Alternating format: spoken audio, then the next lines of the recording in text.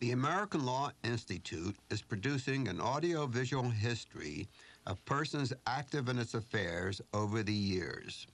Today, we shall be interviewing Professor Homer Kripke.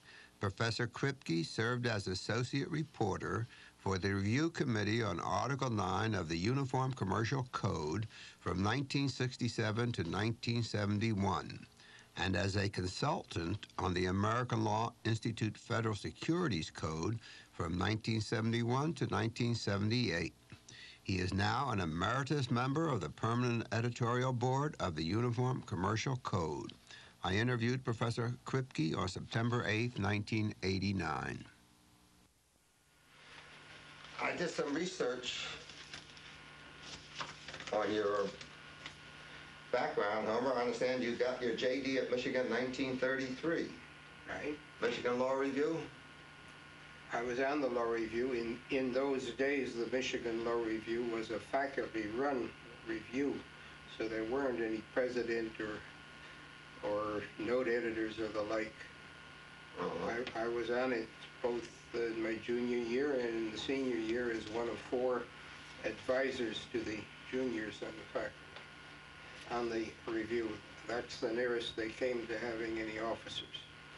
I was the top man in my class.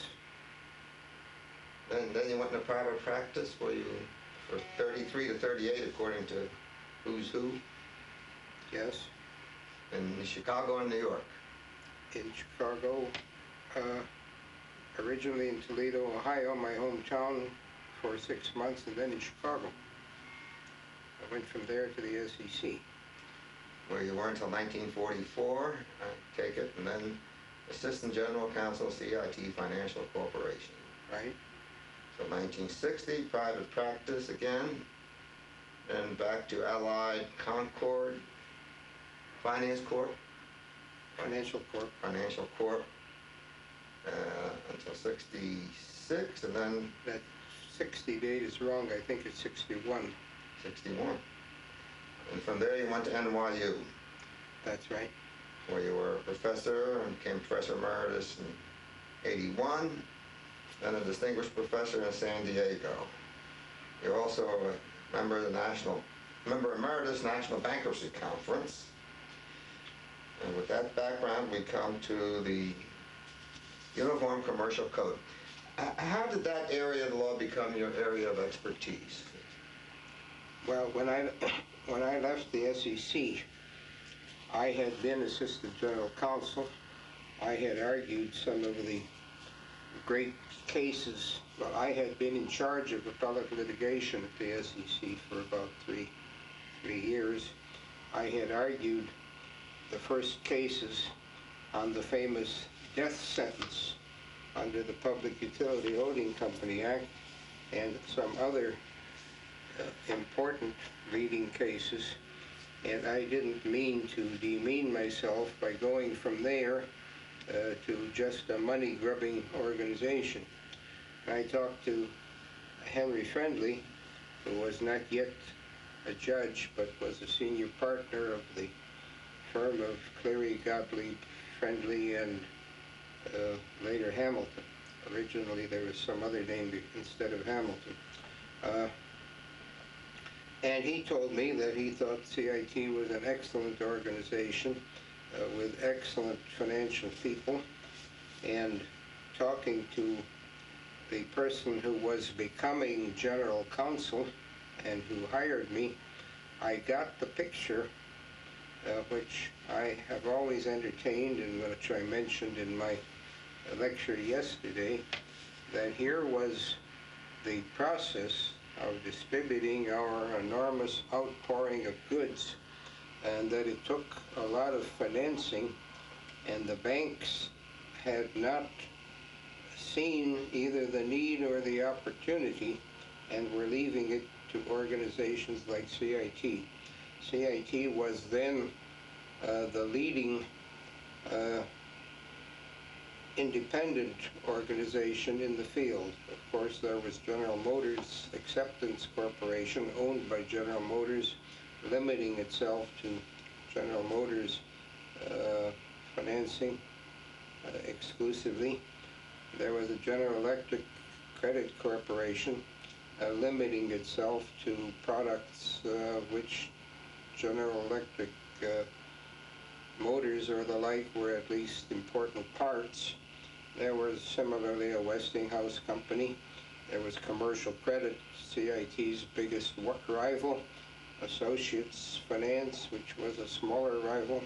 But CIT uh, was the biggest independent and it was extremely prosperous at that time, so much so that there was at least one year in which CIT made more money than any bank in the country. Uh, the banks, as I said, were missing a great opportunity. Uh, not only that, but CIT recognized that the business depended on building a body of law that would be useful. Uh, uh, it- the remarkable thing about General Motors Acceptance, the biggest company, is that it had no lawyers. It had a couple people with law degrees who functioned as uh, political people keeping an eye on legislatures, uh, but it had no lawyers.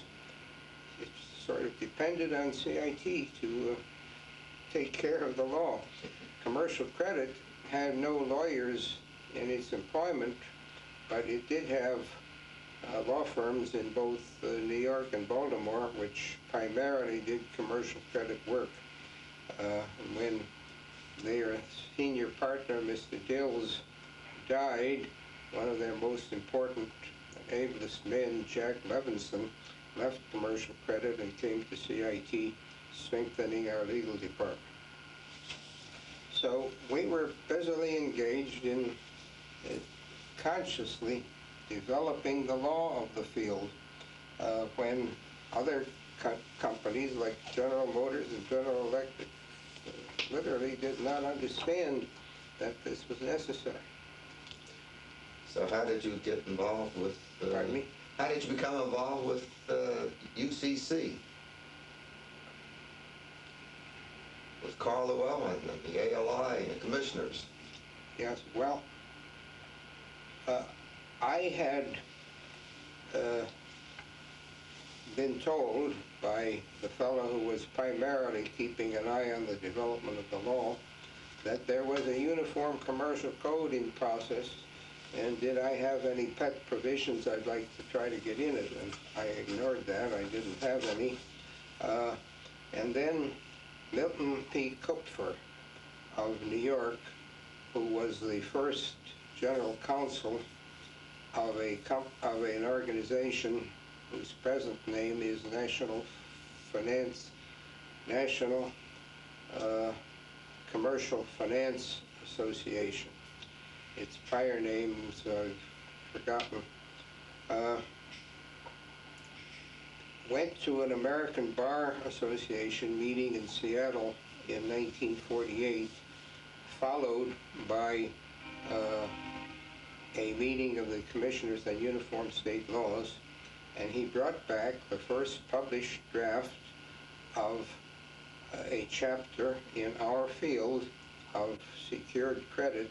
It was a chapter on inventory, and he sent it to me. I read it, and uh, Karl Llewellyn uh, had, who was the chief reporter of the code, had used the expression in an article in 1948, inventory in the broader sense, including accounts receivable. Uh, and I hadn't thought much of that. I'll come back to Llewellyn's earlier exploration in this field in a moment. Uh, I hadn't thought much about that because he had recognized in the earlier law the close relationship between inventory and the accounts or other receivables arising from sale of inventory. So that remark was not exceptional. But in his draft, he defined inventory to include accounts receivable. Having written the draft, he forgot about his definition the treatment of inventory uh, was an excellent first draft.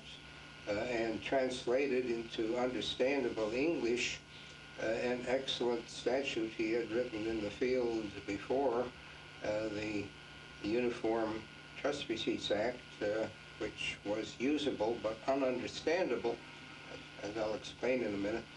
Uh, and this time he wrote a reasonable, good first draft of inventory, but when you look, remembered the definition and applied it to accounts, it gave you nightmares because inventory is primarily a two-person relationship, a dealer in merchandise and a lender. Uh, and accounts receivable is a three-party relationship, a seller and a buyer, and uh, a third party who takes over the credit obligation from the seller. And since he had totally ignored his definition, this statute, this draft gave me nightmares. So I didn't know whether one dared to approach the famous Karl Llewellyn, uh, but Allison Dunham, I knew, was working with him, and I knew Allison Dunham because we both lived in Westchester, New York, and uh, we had met socially. Uh, so I asked Allison whether Llewellyn would talk to me. He said yes. I called Llewellyn. He invited me out, and uh, he agreed readily that his uh, draft uh, had to be changed because of that definition. And then he started talking generally. Uh, he said that uh, he knew that he had no uh, touch feel for these problems in what we now call asset-based financing, although that is a fairly new term. Uh, and he had tried to get the feel of it by talking to the banks. And then he quoted to me uh, what I will try to repeat the way he said it. The banks told him, we don't know anything about chattel mortgages and that kind of stuff. Uh, we only deal with persons who come well recommended. And he said that the banks gave me no help. And uh, fortunately, there was a fellow at CIT named Harold F. Birnbaum, uh, whom he had known and who had uh, been very helpful to him in understanding this business realistically. Fortu- unfortunately for him, uh, fortunately for me, uh, Harold F. Birnbaum had left CIT because he didn't get the general counselship and had gone to uh, Los Angeles to practice law, and I was his successor, so it was just natural for uh, Llewellyn uh, to attach himself uh, to me as uh, someone who could give him guidance in the realistic application of this business. That was in 1948, and I've been working on the code a substantial part of my time ever since. Just an, as an aside, Harold F. Birnbaum is still alive, uh, living retired in Hawaii. He must be about 92 years old. His mind is still excellent. Uh, I came to know him when we were both working on the code together. Uh, he's always anxious to be briefed on anything that's going on, and uh, he made some very valuable suggestions on Article 9, which are reflected in Section 9103. Harold is a member of the Institute, Yes. and he, each year when we send out the annual meeting drafts, we receive a note or two from him commenting on what might be done. I saw him in Hawaii several years ago. I didn't realize he was now 92. The, his handwritten notes come talking about suggestions, how to improve a draft. 92 is just my guess as to his date, but he is certainly uh, in his 90s or 89 or something like that. Uh, was Allison Dunham the reporter at the time for Article 9? Uh, Or was, Allison Dunham and Grant Gilmore were co-reporters for Article 9. Uh, not very long afterwards, before I got very deeply into it, uh, Dunham, who had been chosen because he was uh, basically a real property lawyer, decided that there was no uh, similarity between the law of real property and this field of law and withdrew from uh, Llewellyn's team. That left Gilmore as his drafting assistant on Article 9. Now, Gilmore had been a teacher of French. He went to law school and became a professor of law. Uh, the field, I think he has described this, this himself somewhere. Uh, the fields that he was to teach were originally unknown, uh, and he got assigned to teaching uh, personal property law, and that's how Llewellyn picked him up. Uh, when I saw him uh, first, which was either that first time I went over or my next trip, uh, he had a new draft of the chapter on inventory, and it looked pretty good, but it wasn't complete and wasn't perfect by any means, and Llewellyn sent him back uh, for a redraft. Uh, I might mention that his theory was, that their theory was, that they would have separate, separate chapters on inventory financing, accounts receivable financing, consumer goods financing, and so on.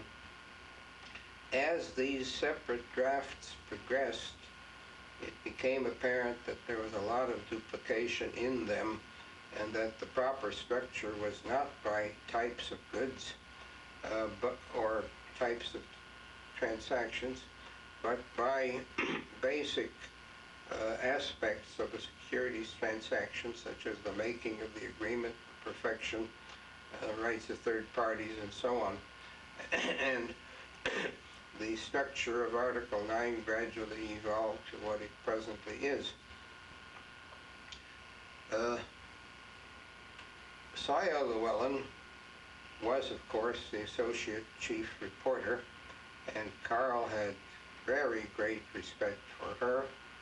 Soia was suspicious of anybody from the finance industry from the start, and when the New York City Bar uh, began to organize to deal with the code, Charlie Willard uh, was the first chairman of a committee, and I showed up at the organization meeting of the committee. Uh, Charlie Willard told him that Soia had instructed him not to let the finance companies capture the committee, and I was excluded from that committee. It wasn't till later that Soia recognized I was trying to do my best. And as she and Grant both subsequently said in written documents, uh, I always knew whether I was representing my client in the industry and when I was acting pro bono, and I left no doubt with them if I was ever representing the industry that I was doing so in that particular time. So I got along fine after that with them. Was Sawyer on Article 9 from the beginning when you when you started? Well, I think Sawyer was a floating a floating halfback. He was on everything. the chemistry among the, all of you must have been very interesting. Karl was, to Karl say the was least, top, and he was until he got began to get ill. He was very active in it, and uh, we would talk about these problems together. Later, as he got ill, uh, Soia uh, became his executive assistant, and Grant and I and Jerry Ireton of Commercial Credit, Milton Kupfer to a limited extent, although I think he never got beyond representing his industry. Uh, uh, would kick, kick these problems around. And so we ultimately produced uh, that part of Article, that first version of Article 9 which was embodied in the code. I should say we had a lot of trouble with it. We- soon recognized the proceeds problem and the priorities problem resulting from it. And we tried to solve it. We never could solve it. I sort of hoped that we could perfect a code and do what has recently been suggested. Uh, say that uh, adopting states, for in adopting states, it'll become effective five years from now. And in the meantime, I and others working in the field would try to apply it to pending uh, uh, developments and see if it worked right. So that, of course, was impossible. They had a problem budget, and uh, Mr. Schnader and Judge Goodrich uh, were very anxious uh, to finish the code because they had not only budgetary problems, but maintaining the interest of the advisory committees and all the chapters. Uh, so at one point, when I was puzzled by something, I told Schnader that Article 9 was not yet ready. We had to go through at least another draft. He said, well, we've got to get this thing out. If Article 9 is not yet ready, we'll drop it. Unfortunately, it didn't happen uh, that way because uh, I think undoubtedly, uh, while the other chapters are highly meritorious, the novelty and coordination achieved by Article 9 as against the fragmentary, uh, diverse laws in the field uh, has been the greatest achievement of the code. I, I have your, I understand there was a committee to review, a subcommittee to review Article 9 before the 1958 edition. And you mentioned uh, he was the chairman of that, and the other names on there I have here is yourself, Tony Felix, Peter Coogan, Grant Gilmore, and then Harold Birnbaum and Richard Walters. Remember that subcommittee that reviewed Article 9 before the 58 edition? Before the 58th edition, that was after the New York uh, uh, Law Revision Commission had come out with its report. I don't remember much about that. Uh, I don't remember who Richard Wallace was. Walters, Richard Walters, I don't remember him either. And I, of course, the other name. When, when did Peter Coogan? Oh, yes. I, I meant to tell that story. I can't give you a definitive date, but Walter Malcolm of Boston uh, had come into the discussions at an early date and was a frequent speaker on the background of the code. I don't think he got down into the nuts and bolts of Article 9 very much, but he was a strong supporter of the code. Then, one day, uh, fairly early in the game, uh, as early perhaps as uh,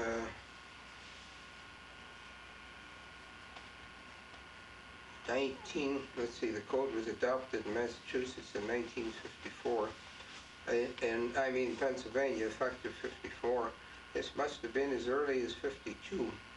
Uh, Walter Malcolm invited Karl and me uh, to meet at the Association of the Bar of the City of New York on 44th Street with Peter Coogan, whom he brought along. Now, Peter and he were in effect rivals, uh, or their law firms were rivals for the business of the First National Bank of Boston. But they were very good friends together. Peter was a very adventurous uh, lawyer in asset-based financing, uh, doing uh, innovative financing on moving pictures, television, which was just then beginning, for an advent, very adventurous uh, vice president of the bank, whose name slips me. Is that the Russian name? Who? It was a Russian, the, Yes, I don't remember his name, but I remember Peter talking about Uh, the name will come to me. Uh, and Peter came to us and said in substance, I have an enormous problem.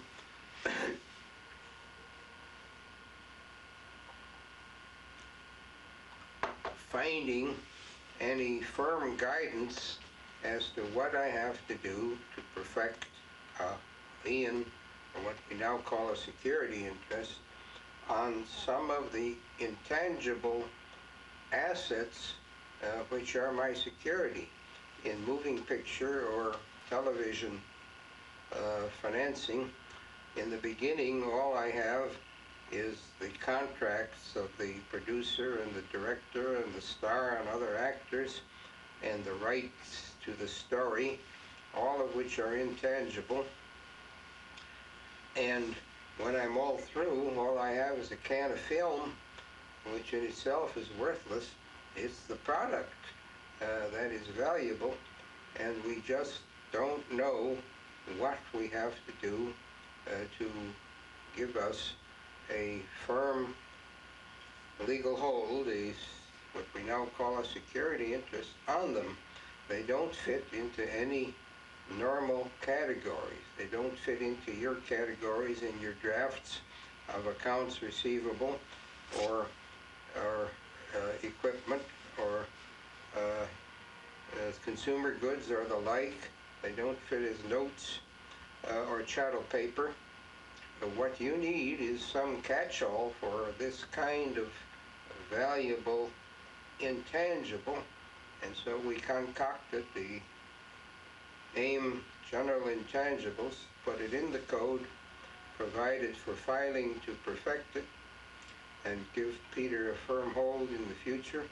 And Peter became a loyal supporter of the code, the hardest worker, uh, the most productive writer, the best technician. Uh, and he and Walter Malcolm put the code through in Massachusetts in 57 or 1958 uh, when it had faltered with no enactments other than Pennsylvania uh, since the 1952 enactment. And I think the two of them saved the code. Peter was a very vigorous worker there, became the great star of the code, and as you know, uh, published and maintained a book which grew to four volumes on the code. Walter Malcolm was a pretty take-charge person. I remember he used to drive Judge Goodrich wild with trying to take over and run the project. Goodrich would tell me that he doesn't know how he's going to cope with Walter, just wants to run away with the ball. Well, uh, that was good because, frankly, uh, some of us used to say Goodrich and uh, Schnader were running around making speeches about this being a superlative code, and we sometimes wondered whether they had ever read it. Uh, it had to be slowed down until the technical knots were gotten out. Uh, and let me tell you a story there. Uh, there was a fellow who drafted Article 6, named Charlie Bunn. He was a professor at the University of Wisconsin, I think. I didn't really know him, but I saw him presenting Article 9. And he uh, explained at one I mean Article 6. He explained at one stage uh, there are two present uh, types of bulk sales laws. One is the New York model, in which the buyer does not have to see to the application of the proceeds of a bulk sale. And the other is the Pennsylvania model, in which the buyer has to see to the application, and if he doesn't, he's going to be liable. And most of the states have the New York model, but about 17 or 19 have the Pennsylvania model, and naturally up goes the hand. Uh, which one does the uh, reporter recommend? And Bunn puts up his hand like this. It's obvious he never anticipated the question or knew what he was going to answer. Well, that formed my judgment on Bunn. Then as the Article 6 worked toward final form, some matter arose. I don't, can't remember what the detail was, but I was convinced that Bunn had a, an error in his draft, so I wrote him about it. I never got an answer, but the next draft had the same answer, so I wrote him again. The Next draft had the same error, and I wrote him a third time. This time I did get an answer, but it came not from Bunn, but from Judge Goodrich. And what he said was a paraphrase of uh, a sentence that is connected with Oliver Cromwell. I looked this up once, I can't remember whether Cromwell said it or whether somebody said it to him. But what Goodrich said to me was, Homer, I beseech you in the bowels of Christ, bethink yourself that you might be mistaken. Goodrich is great on these quotes. I remember when I was his law clerk, and uh, he would turn out an opinion with great dispatch, and uh, some of the other judges were considerably slower, especially the chief judge. And it would exasperate Goodrich, and he would say, God made the world in six days, and on the seventh day he rested, and it shouldn't take any longer to write an opinion. and he stuck to that. You mentioned Schnader several times. Uh, he, he was the he wrote Hurd on the code all the way through. Uh, That was, I think, his. He, he said, he what? He wrote Hurd on getting it He through. wrote Hurd Had to get it completed.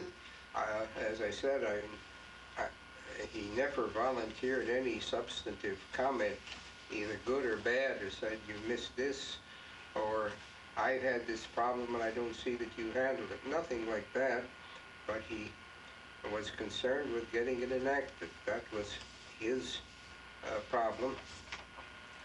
And as I said, uh, uh, if we weren't ready to go, he was going to drop out Article 9 and go ahead with what he had.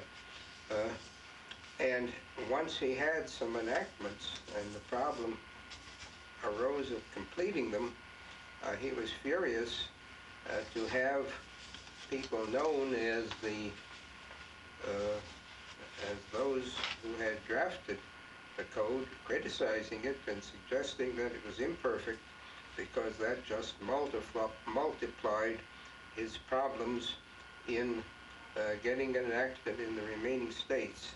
The three biggest offenders were Coogan, uh, Gilmore, and I. Uh, Remember Dunham too. He, he was quite upset with Dunham one time. well, Dunham had, he may have been, but Dunham dropped out very early in my contract.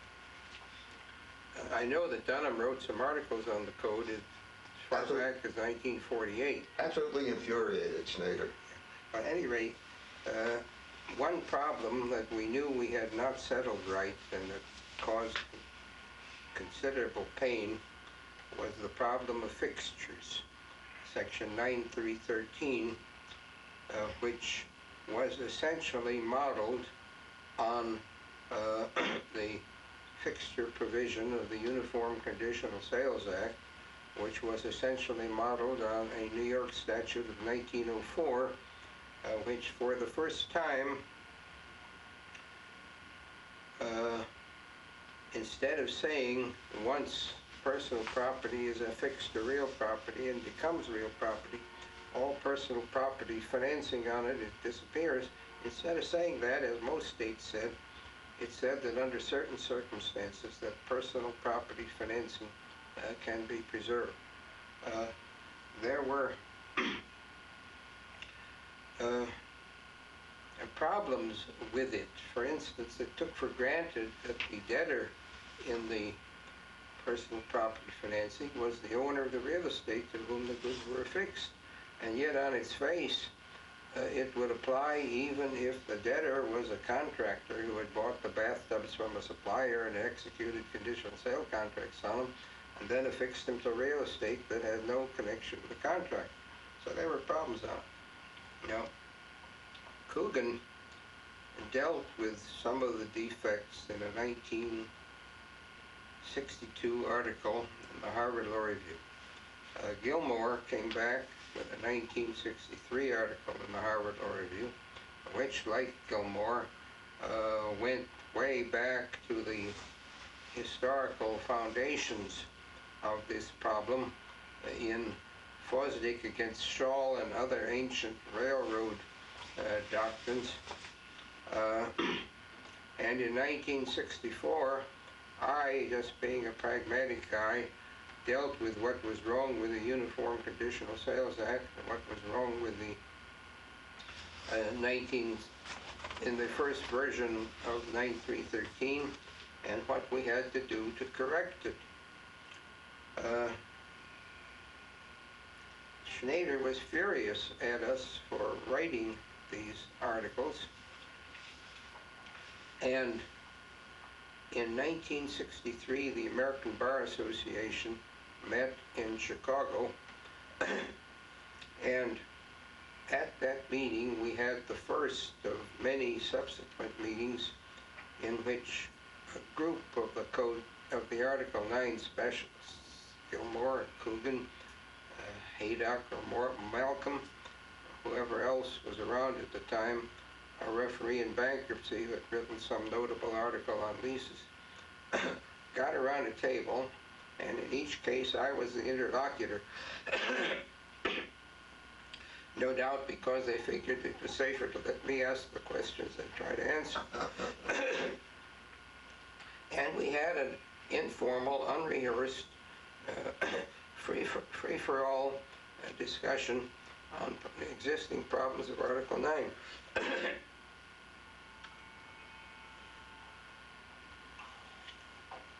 there are at least three published versions of that kind of discussion. That first one is published in 19 Business Lawyer, and there are at least two others which are published as separate volumes. Uh,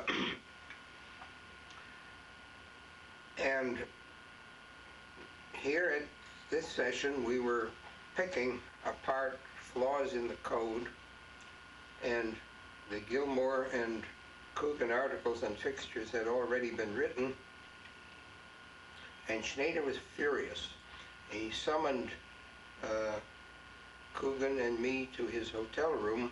He would have summoned Gilmore, but Gilmore was not in Chicago at the time, and he gave us hell for making his enactment job difficult by criticizing the product he was trying to sell.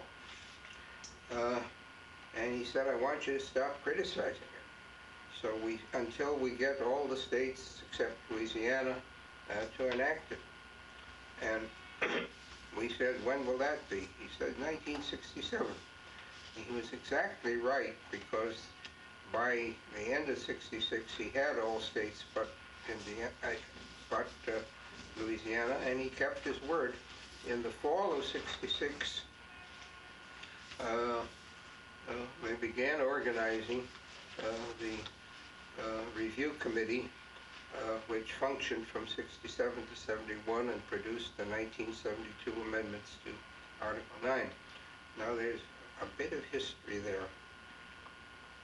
It was we three people who were the worst offenders, and we showed our respect for Gilmore, for Schnader's view, because I published my article in 64 after that meeting, and in 66, before the review committee project was announced and organized, I wrote an article in the New York New Law Review on suggestions for revising uh, Article 9 in the intangibles field.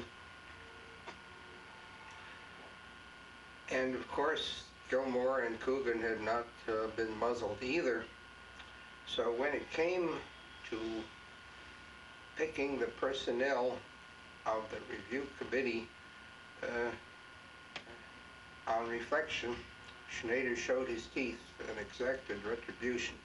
I was in Alamogordo, in New Mexico, uh, visiting uh, my son, who was a captain in the Air Force, and which had a big base there, and had on view my first grandchild. uh, and I got a call from Bob Braucher uh, of Harvard Law School announcing that uh, they were, there was going to be a review committee.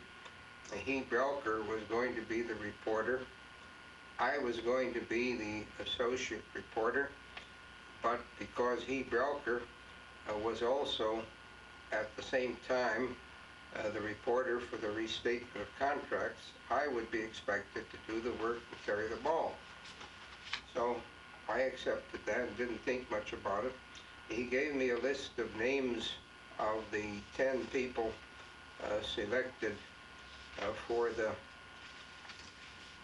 committee, which included two judges and people like Millard Ruud, whom I didn't know very well, Dave Henson, whom I uh, did not know as well then as I have come to know him, uh, Harold Marsh, and there were so many potential uh, people who could be chosen that I failed to be impacted as I should have been by the absence of Gilmore and Coogan. I must say I just overlooked it. So I agreed with Braucher. And then I realized at some later time that Gilmore and Coogan had been omitted purposely. And on reflection, I realized that uh, I had been chosen as reporter, but with Braucher sitting over me to keep me from going wild. Uh, and so there was some to do about it. Uh, uh, some people uh, threatened, and I joined them, uh, not to go ahead on this committee unless Gilmore and Coogan were brought in and an arrangement was made uh, to have them designated as consultants to the committee, uh, but without a vote. Uh, That was their punishment, and my punishment was to have Braucher sitting over me. I don't want to dwell on that because Braucher was very able. Uh, He did his share of the work. Uh, If you read the 24 or so uh, working reports I wrote to the committee in preparation for meetings, you'll find that Braucher seldom got around to reviewing them in time to join in them, so they are mostly under my name alone. But he was a meticulous, ultimate reviewer. Uh, he knew the style of the commissioners for drafting and enforced it vigorously on me so that it was acceptable to the commissioners. And he was a better draftsman than I. He solved some problems that I was stumbling on.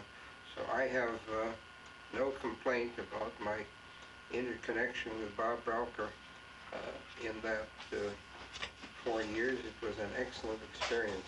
I'll give you a postscript to your story about Coogan and uh, Gilmore. When they weren't designated, I got together with Herb Wechsler. And I said, we must have them on there in some capacity. You may recall that you, Coogan, and Grant were doing a lot of CLE programs for us at that time around the country, talking about the code. And Herb agreed that they should be on there. And working with Herb, they were made consultants. When Schnader found out that I had been instrumental in having them as consultants, he didn't speak to me for a half year. And he was absolutely furious with me. I finally went up and met with him at his office. Uh, look, and I said, Bill, uh, Mr. Schnader, I never called him Bill. I said, I really didn't do this to offend you as you think. Uh, I explained to them their participation in the CLE programs, their contribution, their interest. Uh, and I said, uh, I, I didn't think this project would have the legitimacy it ought to have if they weren't involved in some way. So he, he sort of softened up then and forgave me, and after that, we were friends again. As it happened, uh, Coogan, uh, who recognized how invaluable a good Article 9 was and could be in practice, worked very diligently on it. I think Gilmore's mind was was already off on other things. For one thing, he had written his book by then, and it meant an early obsoleting of his book. Uh, that's not quite true because his book is so penetrating as to fundamentals that even after its discussions cease to be accurate in view of changes in the code, uh, his book is still a penetrating discussion with broad historical background of many of these problems. Incidentally, uh, his book is supposed to be being updated by Professor Baker of Alabama, uh, to whom I lent some of my working papers, oh, many years ago, and then recalled them. I haven't seen his book yet. Some of these books never get produced. Um, of course, Schnader was driven by this uniformity concept. To him, that was uh, the most important thing. Uh, and I noticed when he created the permanent editorial board, uniformity, uh, the enlarged permanent editorial board, uniformity was one of the prime criterion for action that the board might take. I don't know. It, it, uh, Schnader wanted uh, these reports of the board, which are published as prefaces, basically to have uh, committees pronounce against even the slightest variation uh, which might conform to state drafting style. Uh, and none of the rest of us were interested in that kind of thing. Uh, and on certain things like fixtures, uh, uh, we didn't see any great need for uniformity anyway. We weren't going to jeopardize the code uh, to fight for uniformity uh, uh, as to fixtures in states uh, like Ohio and California, which had that old approach to fixtures, which said once goods are fixed to realty, uh, ch- chattel financing is dead as to them, because ultimately there was no way to uh, make uniform a decision of a state as to when personal property had become real property. That was going to vary in accordance with a hundred years of background in each state. You had to adopt the local state law on it. And it didn't make that much difference anyway because real property law is not uniform and can never be uniform. Fixture law is part of real property law, and if we had no uniformity as to fixtures, the code would survive. So none of us got bothered by it. We were bothered by having a workable provision, and we dealt very hard, uh, we worked very hard on it. Coogan and I uh, took the lead on this. Braucher more or less washed his hands except in drafting, helping me very much in drafting the solution. Coogan and I met with a joint committee of the real estate section of the American Bar Association and a committee of the American Land Title Association, the insurers, real estate insurers. We met the equivalent of at least two full weeks over a period of several weeks, battling out the present uh, Section 9313. And once we had it, uh, with minor exceptions, uh, people accepted it, and the states which had refused to enact 313 originally, one by one, uh, fell in line. Even California, which had long resisted it, uh, fell in line a few years ago uh, through the work of George Richter of uh, Los Angeles, whose excellent work on the code has seldom been credited enough. He was a quiet person, but an effective Quiet, one. very able. Uh, George Victor and Al uh, Al Buerger of Buffalo, B-U-E-R-G-E-R. Uh, while we were working on the code, took the lead in drafting the Uniform Certificate of Title Law, uh, which conformed to code thinking uh, long before the code had made very much progress uh, and became the first workable certificate of title law and it integrates beautifully with the code because those two men took the lead in drafting it. But your, I remember the article in the Iron Review Committee worked very, very hard, had a number of meetings. and I think it was chaired, as I recall, by Herb Wechsler. It's chaired by Herb Wechsler, who, uh, of course, was very frank, just as uh, our present chairman, what is his name?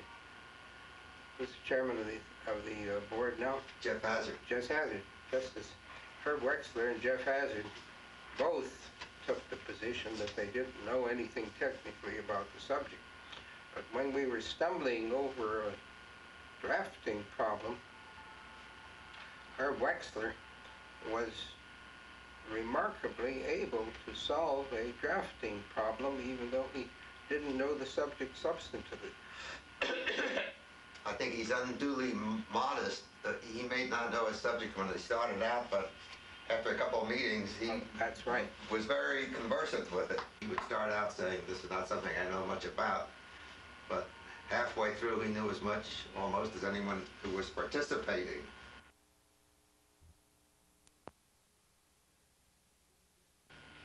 Well, let's change, uh, shift gears a minute. You were also involved in another ALI project, the Federal Securities Code, a reporter for which was Louis Loss, and you were engaged as a consultant there.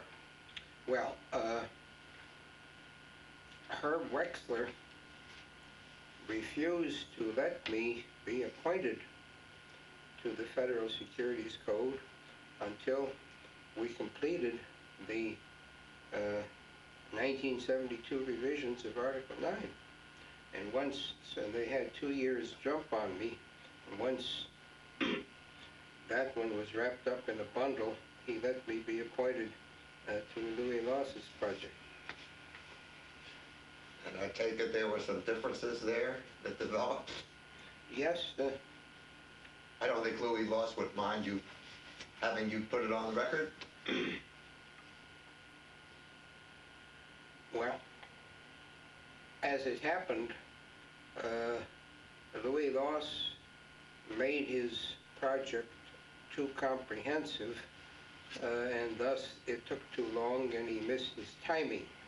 Uh, he really had the uh, Democratic uh, Congress and a at least neutral uh, Democratic president ready to go on the code, uh, but uh, the Democrats lost the 1980 election and that was the end of the code, as you know. Uh, of course, nobody could have foreseen that result of taking too long uh, by trying to encompass too many topics. But Louis, Louis's great mistake was in trying to be a codifier of everything there.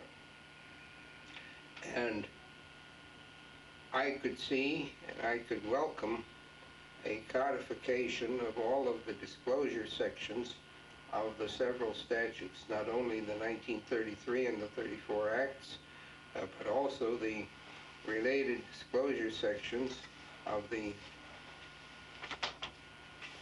of the Public Utility Holding Company Act and of the Investment Company Act uh, and the Investment Advisors Act and so on. Uh, but he insisted on also codifying the substantive provisions of those statutes. Uh, the regulation of public utility holding companies, the infinitely complex and tiresome regulation of investment companies with a vast number of definitions and that kind of stuff, sticking them into this statute, uh, messing up the simple flow of disclosure and filing provisions by, by provisions about the public utility service companies and the like, many of which were dead materials by the time he got there. The so-called death sentence, the breaking up of the holding companies was substantially complete long before 1980. Nobody was interested in it anymore. just paperwork to do the necessary filing. And even the SEC wanted to get out from under and at one point uh, favored either repeal of that act or in the alternative, uh, letting somebody else do it. They wanted no part of it. Louis sat there insisting on codifying it all uh, and uh, did, I think, a beautiful editorial job, uh, but it lengthened the damn thing. It lengthened the time it took to present it to the layers of review uh, that he had. Uh, it involved problems that were no part of a unified disclosure code. And as I said, the result was that he lost his timing. Lou was primarily an editor uh, rather than uh, one who dealt with substantive problems. At least two of these statutes, the public, the Securities Exchange Act of 1934, the Securities, uh, the Public Utility Holding Act of 35, definitely, and I think also the Investment Company Act of 1980 have preliminary uh, legislative recitals, uh, the purpose of which is, is to give congressional recitals of fact to serve as the basis of the constitutionality of the statutes by mentioning problems which required federal as against state enactment. So, Louis came along 30 years, 40 years after these recitals had been written and put them together in haec verba, word for word, as they had been written 40 years earlier. So I had made a practice because our meetings sometimes were very wasteful of time while somebody argued about um, minor points.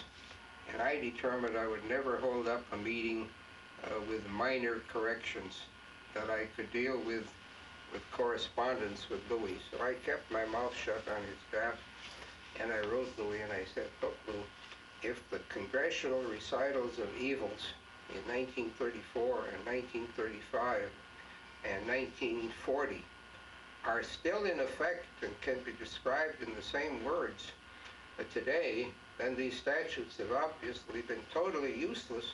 Instead of revising them, we should repeal them. So he got the point, and he dropped those recitals. But that's, in some respects, the kind of uh, unduly uh, careful repetition of everything in the statutes that he did instead of judicious pruning in the process. Now, we, we, he and I had one big argument. Uh, in, as I said, the SEC at one point uh, wanted to repeal or get out from under the Public Utility Holding Company Act. At some public meeting, Joe Weiner, who was had been uh, the director of the Public Utility Division, and uh, other knowledgeable people in that field expressed a strong view that uh, the public utility portions of this statute, of this securities code ought to be deleted. We should limit ourselves to the disclosure material. Uh, Louis would not hear of it. I came back and advocated that. I told Lou uh, that uh, uh, others had advocated it publicly. He would not hear of it because he was building his monument. Uh, and uh, so he wrote around uh, who agrees with Homer that we ought to take out the utility and the investment company sections. Nobody had the courage to destroy Louis' dream by saying in his to his face what they had said elsewhere.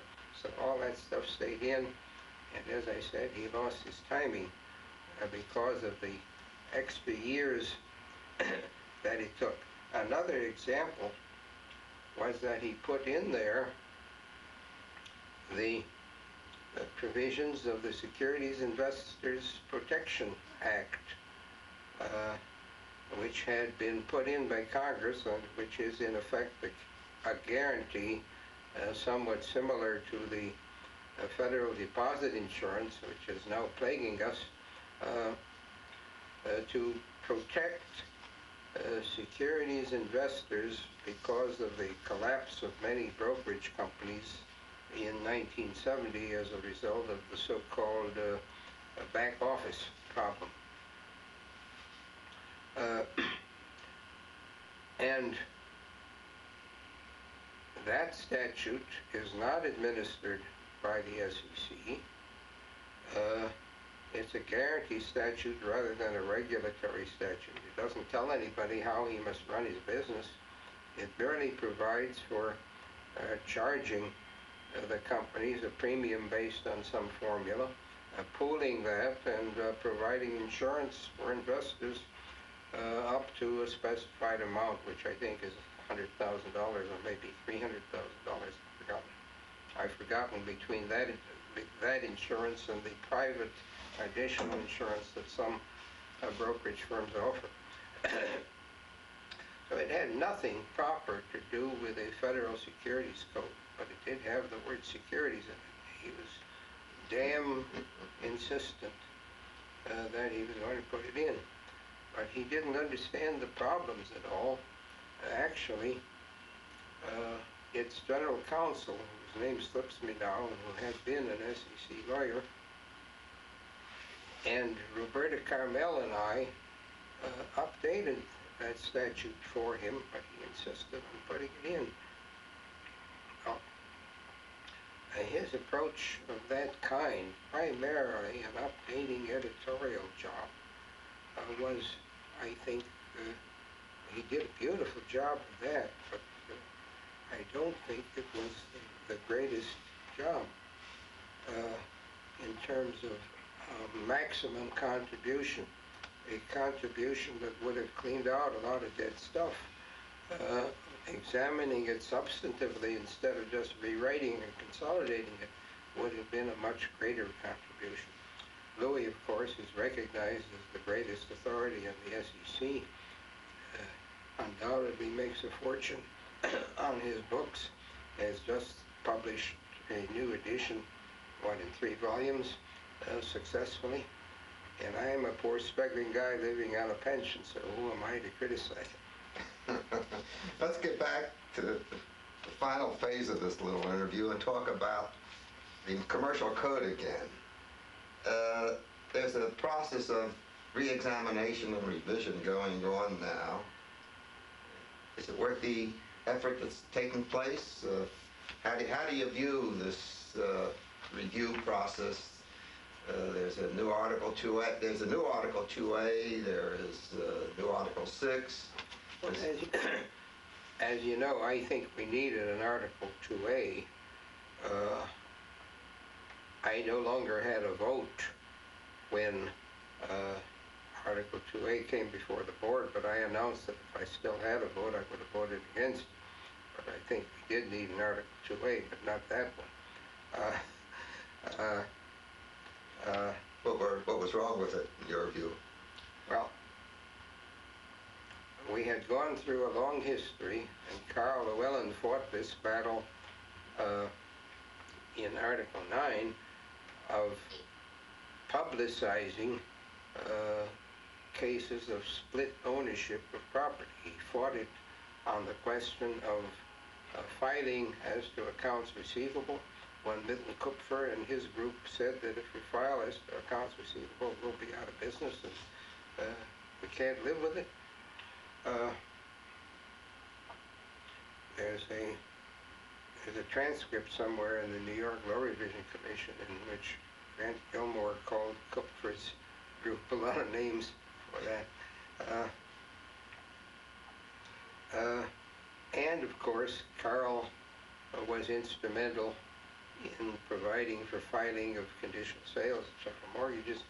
Uh, Way back in 1941, John Hanna wrote an article in the Columbia Law Review arguing that there was too much filing going on. And uh, Karl took the opposite position and caused the filing as to accounts receivable and authorized the filing as to chattel paper in the code. And a lease is so close to a security interest that you have to have arbitrary uh, demarcations to separate them. And that being so, it seems to me that the simple way to avoid a lot of headache is to require filing on leases as you do for, uh, for uh, conditional sales and other security interests. Of course, if a person rents a punch bowl and punch cups for a week for a wedding, uh, you don't want a filing there. So someone would have to work out a de minimis provision for short terms and small amounts. That could be done. Nobody would argue very hard as to where you draw the line. But that you have leases that are so close to uh, conditional sales that you have to provide arbitrary definitions to draw the line, then say you can avoid filing by doing it in the lease form, I think is a fundamental mistake. Now, 30 years ago, uh, there was a practice of avoiding filing on what were really sales by couching them in the form of a lease, uh, which, as to which there were then no filing rules, uh, and make sure that at the end of the lease, the lessee kept the property by writing an option on a separate piece of paper, even in, either in favor of the lessee or in favor of an affiliate of the lessee, just to be sure he got the property at the end. The reason for doing it that way was that if the lease was for a fairly short term, he got uh, the deduction of his whole cost as rent, because rent is deductible, while it was frankly a sale transaction uh, with security. Uh, instead of deducting the payments, you could only deduct depreciation, and the depreciation could be much longer than the period of payments. So that the Contractors Association published a form of lease with a separate option, uh, which was used to cheat the government on taxes. Now, that problem ultimately was wiped out when accelerated depreciation came along and you didn't have to, you could get the same deduction substantially either way. But now, if you recreate a situation in which you can avoid filing and public disclosure, with that kind of unethical device, I think you're going to see it. And I think the reason that the Contractors Association and the other lessors associations fought so vigorously for this code and against filing was precisely that. We haven't seen it yet, but I, I would bet that you're going to see it. Well, what, what, uh, what do you think of the revision process on article by article, or do you think they ought to do the whole code at one time? I think Marty Aronstein has a, has a concept that the entire code ought to be done as a unit rather than separate pieces. That was Marty Aronstein's contention, and he undoubtedly figured that uh, he might play a leading role in it. Uh, but uh, no, uh, no one else got strongly behind it because it's an awfully big project, and the needs are not uniform. Uh, obviously, uh, the sales article is ripe for revision. Grant Gilmore used to comment that uh, uh, the real problems of sales uh, were not dealt with uh, in the present sales article because the real problems of sales are in franchising and that kind of thing, and the code just doesn't deal with them. Uh, Article 6 certainly required something to be done. Don Rapson, after having for years contended that the best thing to do with 6 was to repeal it, uh, finally won his victory. Uh, but I asked Harris, who was the final draftsman, about it just yesterday, and he told me so far as appears from limited exposure, that abandonment option uh, is not going to meet with favor, and apparently the new revision is not being enthusiastically received either, so I, I don't know what's going to come of it. But Article 6 is comparatively unimportant and might well have been left out of the code, so it's not important.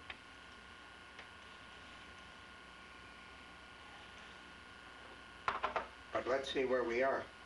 Well, Uh. Article 8 uh, is important, and I- I'd like to talk about an incident there. Uh, When we had drafted uh, the revised Article 9 in 71, uh, reporters and the review committee, we took it to uh, the then permanent editorial board, on which I think none of us sat. And on the day of the appointment, on the day of that appointment, as we sat down, we were in effect pushed out of our chairs by representatives of the American Bankers Association and the American Bar Association, who seized the opportunity of that meeting of the uh, board to say we have a national crisis in the paperwork debacle in the back offices of the uh, brokers and bankers in the securities field, and we must immobilize or get rid of the stock certificate because someone had figured out that it takes 19 different motions to sell 100 shares of stock from one client to a broker, through his broker, to another broker, to a second client, that's the minimum. You have to have a new stock certificate prepared by a transfer agent and a registrar. Uh, and I don't know where there were 19, but there were. And the lower Manhattan was crowded with messengers running back and forth with stock certificates. So they said, we must get rid of the stock certificate. So we want you immediately to draft uh, amendments to Article 8, which will make it possible to uh, run stocks on book account. Well, it's easier said than done, of course. And you remember a famous controversy between Aronstein, between Coogan, who belatedly criticized it in the Harvard Law Review, and Aronstein, Haydock, Haydock and uh, Hill, was it? Uh, Philadelphia. Uh, I think that, I don't remember. I, I know who the guy, but I, Hill is not quite the right name. Defending the statute. Scott, wait, Don Scott, was it? Yeah, I think it was Don Scott. It took much longer uh, than those people originally wanted. Uh, and in the meantime, uh, the need had been achieved in other ways. For one thing, part of the crisis was due to the fact that the banks and brokers had just computerized, and the computers couldn't talk to each other. They weren't uniform. so it was a mess. Another part of it was that uh,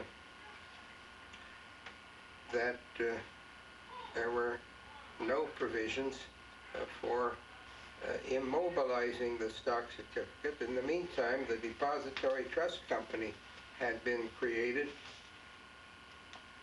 so that all the nominees uh, put their stock in the Depository Trust Company and the stocks, there is one big stock certificate and never changes hands. It's just the question of who holds, who they're holding it for.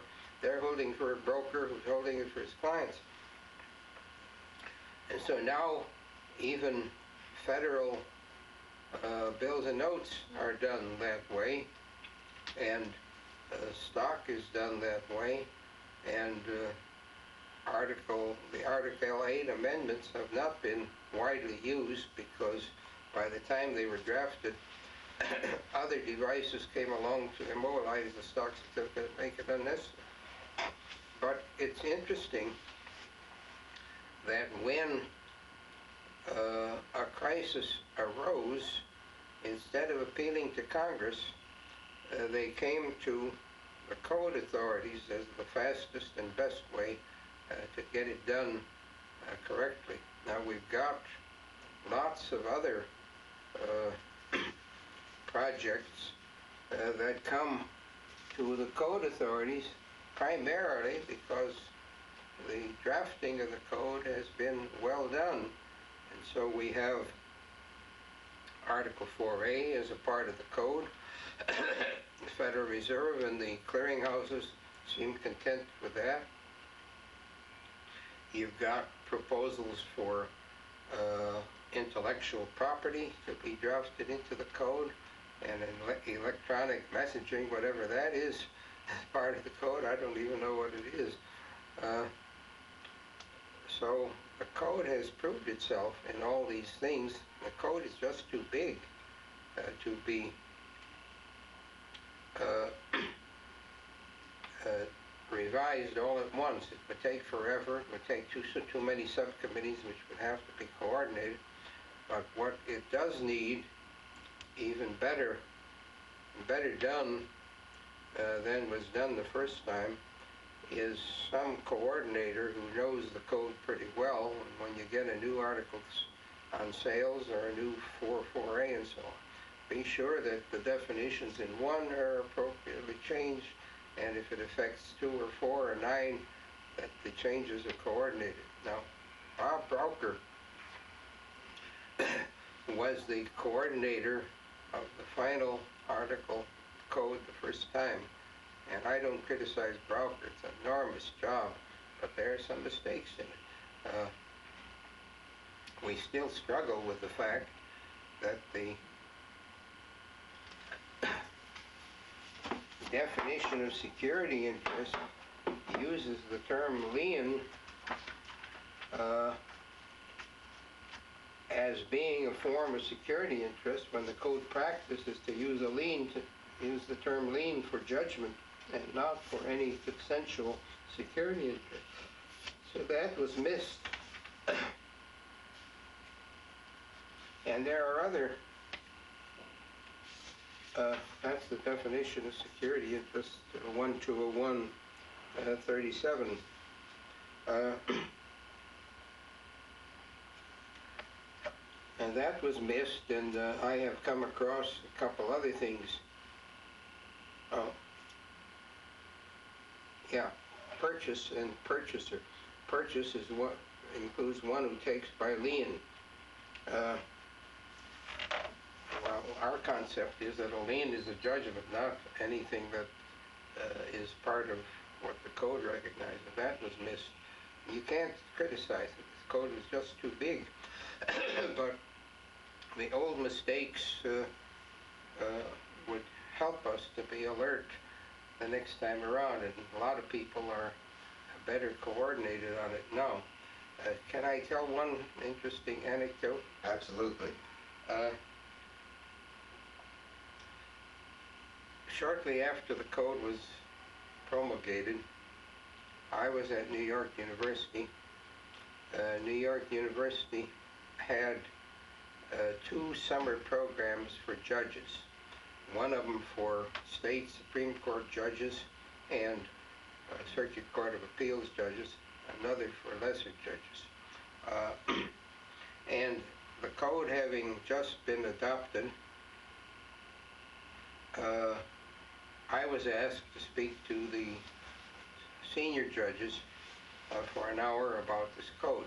And of course, in one hour, you couldn't begin to talk about substantive issues.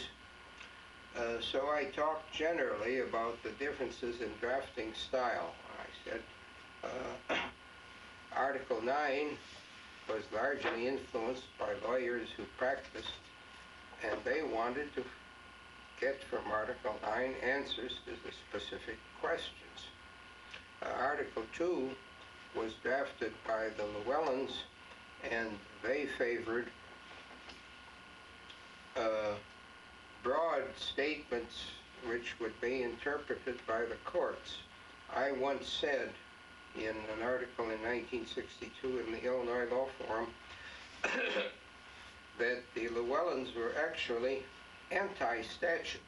What they wanted was to reverse certain uh, directions in which the common law had been taking, give it a fresh start, and with some generalities, and let the courts take over from there.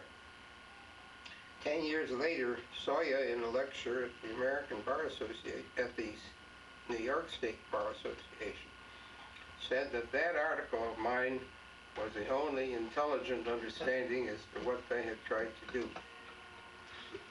So in this, coming back to my lecture to the judges,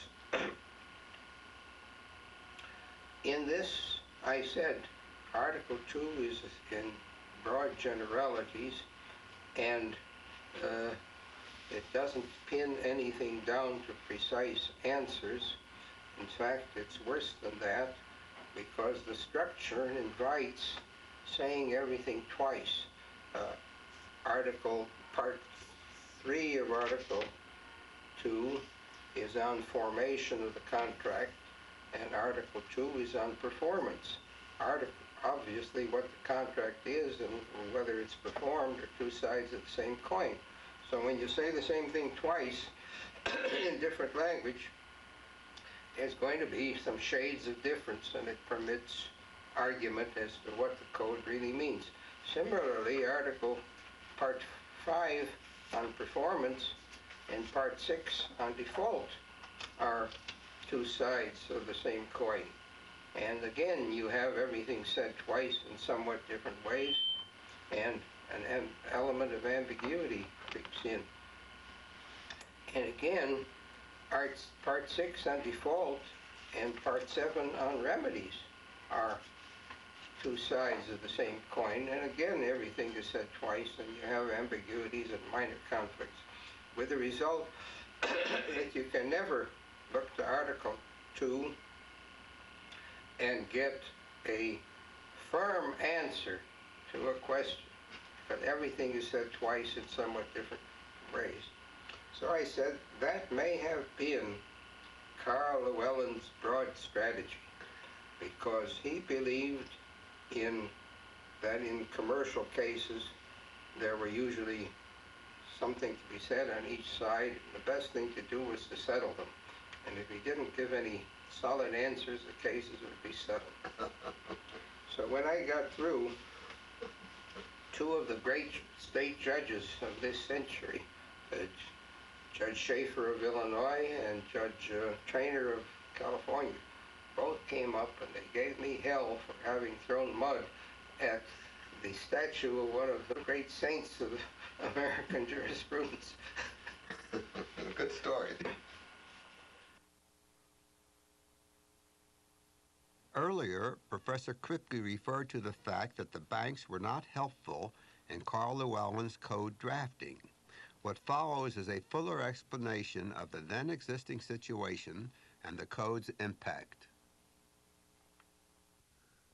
Uh, I mentioned in the beginning that Llewellyn had said that the banks told him they didn't know anything about uh, chattel mortgages and that stuff because they did business only with people who came well recommended. That meant that they were dealing only with high-class balance sheet risks and they were excluding two vast groups of potential credit users. One was consumers, the other was the small businessmen. Vast users of credit if they could get it. The banks reasoned that the consumer had no assets, was probably in debt, and was obviously an unsafe credit.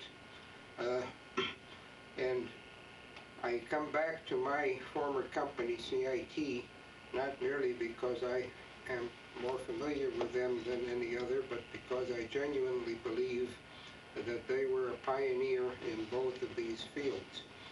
The CIT began, interestingly enough, in 1908 as a so-called accounts receivable uh, company. Uh, its founder, Henry Ittleson, uh, had worked as a credit man for the Schoenberg Furniture Store, or whatever the name was, which became the May Department Store Company. The Mays and the Schoenbergs were related. they backed Ittleson in founding this company, and the Mays and the Schoenbergs became the largest uh, stockholders of CIT, except uh, the, Mr. Ittleson himself. in 1916, Ittleson saw an opportunity. He dropped essentially out of the accounts receivable business, except for very large deals, and pioneered the business of extending credit to consumers on the security of automobiles being purchased on the so-called installment plan. He had the field almost to himself at first because, as I say, consumers were not balanced with credits.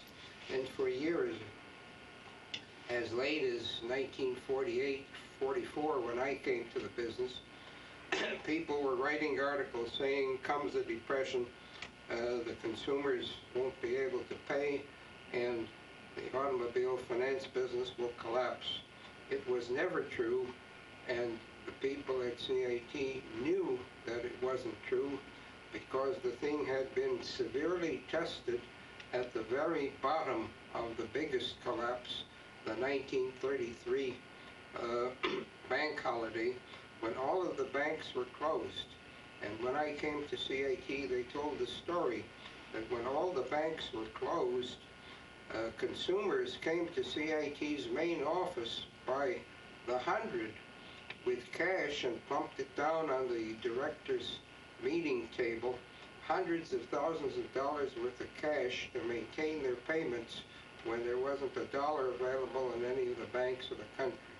That proved that consumers would maintain uh, their accounts if they humanly could, and that the big consumer asset is his job and not necessarily any balance sheet assets. A similar point uh, the CIT people saw was true of the small businessman. And somewhere toward the end of the 1920s or early in 1930s, CIT established some so-called industrial lending offices in which began to uh, finance the purchase of machinery, machine tools, uh, road building machinery and the like, construction machinery, uh, almost any kind of hard machinery that was durable and had a resale value. Uh, and again, uh, the debtor was frequently not a balance sheet risk, but uh, CIT saw what the banks did not say, that he was going to be able to pay out of the earnings of the machine being financed and out of the uh, depreciation, which protected some in, some uh, revenues from taxation. Uh, and those credits proved to be very sound. And uh, when I left CIT in the early 1960s, the original three offices, New York, Chicago, and San Francisco, had grown to well over 30 offices, and I understand that uh, in late years they, they had something like 50 or 60 offices. Now, why did the banks overlook uh, these huge opportunities? The banks, as I say, simply did not see that these were sound credits, and secondly, there were legal complications that the banks were not prepared to face. Uh, as to automobiles, uh, you had a vast confusion. Uh, you had no, in some states, no special rules for automobiles, and they were very mobile, and it was hard to keep track of them. In other states, you had an original certificate of title law, which was no good. And finally, there was an effective uniform certificate of title law, which happened to fit in very well with the code because, as I said, it was drafted by two people who were fully familiar with the code, George R. Richter Jr. and Alfred Buerger, B-U-E-R-G-E-R. So that was one aspect of the law that uh, was straightened out for the banks without any help from them. Uh, The second part was the lack of uniformity in the standard uh, form of legal contract for uh, sales on the so-called installment plan, the conditional sale contract. The Uniform Conditional Sales Act was enforced in only 13 or 14 states. Some states did not recognize conditional sales. Others had enormous variations. Uh, Some required acknowledgments, some required affidavits, some required witnesses, etc. CIT had gone to the trouble of working out all of those variations with a manual for uh, completion and filing and a set of forms which provided all the variations on uh, the formal requirements of the different states so that lay people could operate uh, with them. Uh, uh, Similarly, when I came to it, CIT had begun to make so-called capital loans, substantial loans on the security of machinery already owned by a prospective debtor. And my first major deal and my first travel for CIT was during 1944 uh, to close a loan in, for several hundred thousand dollars made by a by a far-sighted man who wanted to buy a hosiery machine company in Tennessee somewhere because he realized that right after the war there was going to be an enormous demand for silk stockings again and he wanted to have the plant that could produce them. And so we made a chattel mortgage loan on a huge variety of machinery. So before long, I drew a second manual for CIT on all of the variations in chattel mortgage law in the 48 states, which was even more complicated as to the variations than the conditional sale book, which we already had. And it was in use uh, so that any of our people could make a chattel mortgage loan uh, without uh, the aid of lawyers. Now, the code came along and wiped out all of these state variations and all of these complications, thus making it easy for the banks to repair their error and get into uh, these businesses, which, as I have described, consisted of making possible our enormous flow of goods through uh, financing the inventory, uh, financing the buyer, and secondly, uh, enabling the dealer to cash in the buyer's obligation so he got the cash with which he could pay off his inventory loan. Three stages. The banks were able to get into that, but there remained one obstacle, the doctrine of Benedict against Ratner. That case uh, was a United States Supreme Court case purporting to decide New York law in a bankruptcy context. New York had a 19th century doctrine uh, which said that a chattel mortgage on a stock of goods and inventory was fraudulent as a matter of law if the lender permitted the debtor uh, to keep the proceeds of inventory as inventory was sold off because it was inconsistent with the concept of lien that the debtor uh, could keep the proceeds of collateral when the collateral disappeared. Judge Brandeis in Benedict against Ratner, which is cited and discussed in uh, the comments to section 9-205 of the code, said the same thing holds true uh, as to accounts receivable by analogy with the uh, chattel mortgage doctrine in New York. If a pledgor of accounts receivable can collect them and keep the money and exercise dominion over the money, that makes the transaction fraudulent as a security interest, as a matter of law.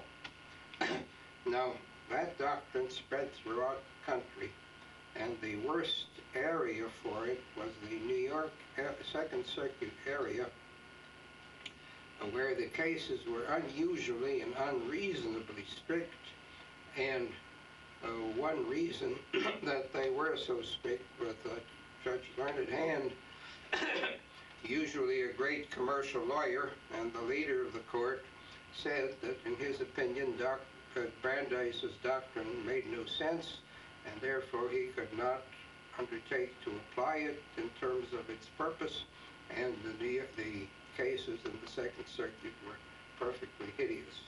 So uh, the finance companies learned to deal with it, exercising dominion by requiring the proceeds of collection to go into special bank accounts, custodians and the like.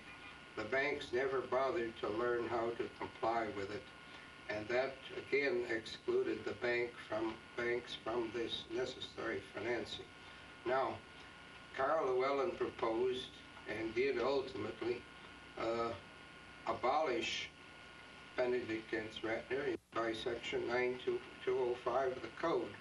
And that again made it possible for the banks to re-enter this field. On a personal note, I will mention that when that proposal to wipe out Benedict against Ratner was made, uh, and before it happened, members of the finance company industry knew that I was working on the code and they approached me and said, you block that, keep uh, Llewellyn from repealing Benedict against Ratner. If you do that, we'll never have to face bank competition and we'll have this lucrative field to ourselves. I refused and other finance lawyers who worked on the code refused to take that attitude and we took the position we were representing the public and not our industry in that respect. With Benedict against Ratner out of the way, the banks have entered this field. As a matter of fact, they entered it not so much by competing with the finance companies, but by buying the finance companies. Either, even CIT, the biggest independent finance company, is now a subsidiary of a bank. Most of the smaller ones are. Uh, the banks bought them not to get uh, the money, but to get the trained personnel. so, as I look back on the code's simplification of uh, finance law, I see it as having done what was necessary to bring in the vastly greater resources of the banks into this enormous field of financing our enormous distribution of goods. I don't think it would have been possible without the code, and it was a very necessary thing. I have here, Homer, the uh, April 1981 issue of the uh, New York University Law Review, which I think was dedicated to you.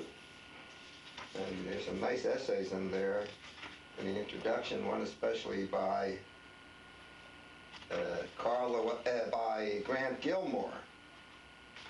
And uh, I want to read you uh, something he said. Said, Homer and I had often found ourselves in disagreement both on points of substance and policy and on points of drafting. In more instances than I really like to think of, I have been forced to the conclusion that Homer was right and I was wrong. I like to think that there may have been some instances in which the reverse was true. If there were such instances, Homer would be the first to acknowledge and indeed to insist on them. In a profession in which intellectual theft is not unknown, Homer has always been generous to a fault in giving credit to others. I think that's a great tribute. I hope you agree. Yes, I do. I'm very pleased with that. That, I think, is the nicest part of, that introduction. You know, the whole volume was dedicated to me, and the last two issues were a combined issue. Uh, they were a, uh, a, uh, what's the word? A, uh, uh, Fest fest strip? strip, a Fest fest strip, strip. Yeah. Uh, Louis Lawson, that issue, and enlarged that word. Louis Loss wrote a very pleasant introduction uh, to it. Uh, Bob Braucher, I had agreed to contribute and died just at that time. Uh, uh, in the four or five fields that I have specialized, Article 9, consumer credit, securities, and accounting, I guess those are, those are they. Uh, there were articles by each people in each of the fields. I, I still cherish that issue. Well, I think we ought to conclude this session by my reading the last paragraph of what Grant says. Nearly 20 years ago, in the course of acknowledging my own considerable debts, considerable debts, I wrote of Homer Kripke that his comments always remind me that he has mastered the useful art of shedding the greatest light where the legal darkness is most intense. It is a useful art indeed, and Homer, in the several fields of law that have engaged his attention, has for a long time been one of its ablest practitioners. Very nice, and I think what Grant said there, I prize uh, perhaps the highest, because Brent Grant was one of the greatest intellects I ever encountered. Homer, thank you very much. I Thank you. thoroughly enjoyed this. I did too.